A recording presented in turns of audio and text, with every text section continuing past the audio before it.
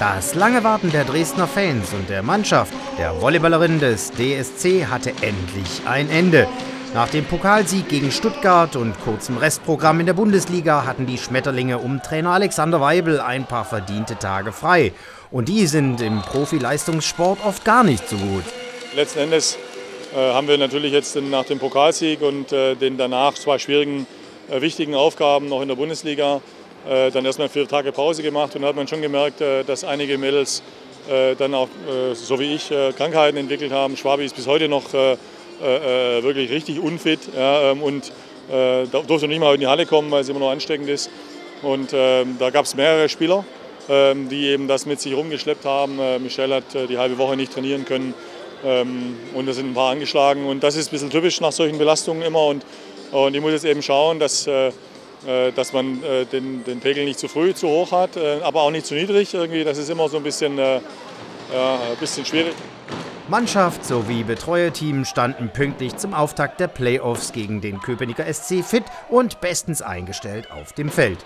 Die Gastgeberinnen hatten vor über 2800 Zuschauern in der Dresdner Margon Arena anfangs ein wenig Probleme, ihren gewohnten Spielrhythmus zu finden.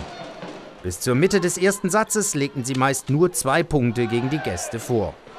Dann folgte aber ein Hoch im Spiel und der verdiente Satzgewinn mit 25 zu 19 war der Lohn. Den zweiten Satz begannen die heimischen Schmetterlinge dann deutlich konzentrierter. Zwar immer noch nicht im absoluten Eiltempo, bestimmten sie aber trotzdem das Spiel klar. Auffällig nur, dass Trainer Alexander Weibel auch in diesem sowie im folgenden Satz und eigentlich grundsätzlich in diesem Spiel immer auf dieselben Spielerinnen baute und auf Wechsel komplett verzichtete. Ja, macht man ja auch nicht, außer im Freizeitbereich. Also ähm, wenn eine Mannschaft gut spielt, dann gibt es keinen Grund zu wechseln. Und ähm, warum soll ich dann äh, irgendwie wie wild durchwechseln, in der Hoffnung, dass dann der Rhythmus verloren geht? Man wechselt dann, wenn es taktisch sinnvoll ist äh, und wenn es eine Notwendigkeit gibt und wenn man einen stabilen Annahmeregel hat und äh, alle Angreifer hochprozentig äh, killen, äh, dann macht es keinen Sinn, äh, äh, Wechsel vorzunehmen.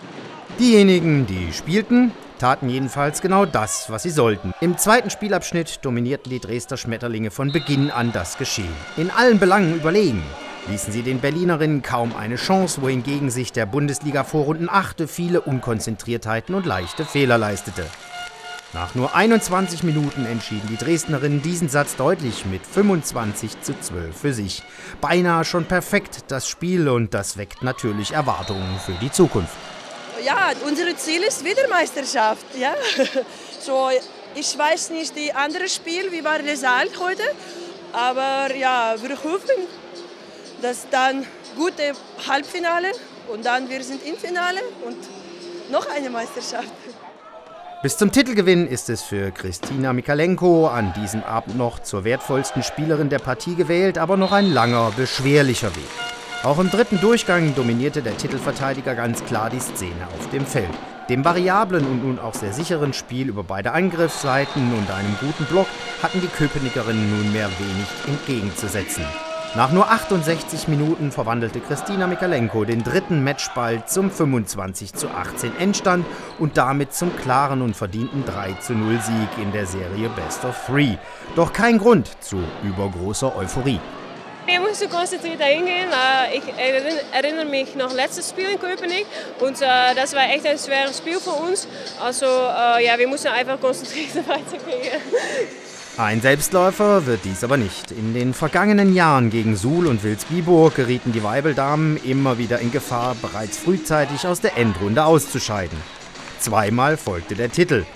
Dennoch mahnt der Chefcoach trotz einer guten Leistung in diesem Spiel die Seinen vor der Partie beim Auswärtsspiel am Kar-Samstag in Köpenick.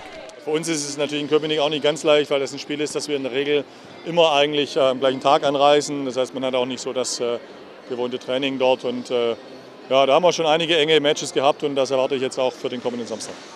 Die Volleyballfrauen des Dresdner SC haben also zum Auftakt der Playoffs ihre Pflichtaufgabe mit Bravour erfüllt. Mit einer ähnlichen Leistung in Berlin sollte den Dresdner Schmetterlingen trotz aller Mahnungen der Schritt ins Halbfinale nicht mehr zu nehmen sein.